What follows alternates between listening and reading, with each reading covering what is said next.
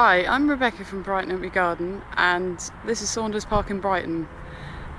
Last spring we were asked to make a garden here for the local community and uh, back in March we spent some time with locals building flower beds and a big pond was put in and some picnic tables were made and some raised beds for vegetables and herbs.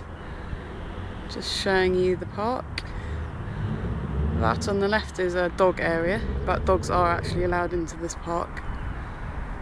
So the pond was put in by another contractor and um, the funding for this garden came through Marks and Spencer's. Um, people giving 5p towards plastic bags.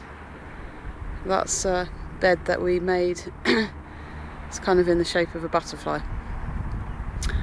Okay, and further up here are some raised beds we made which people use for their herbs and vegetables.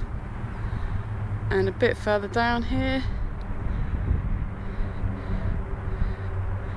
this is the pond. It's now got a lot of uh, wildlife established in there. Newts and all sorts of insects.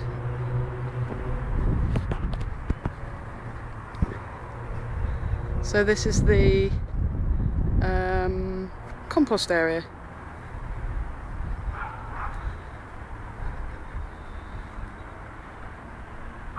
So the park's quite big. Up in that top corner is like a bee garden. And we also had a willow dome made. There's a dog running right over there now. So this park is really big. And um, in spring and the summertime we have families and open days here and uh, the work continues and people come in and garden and yeah this is one of Brighton Up Your Garden's little projects.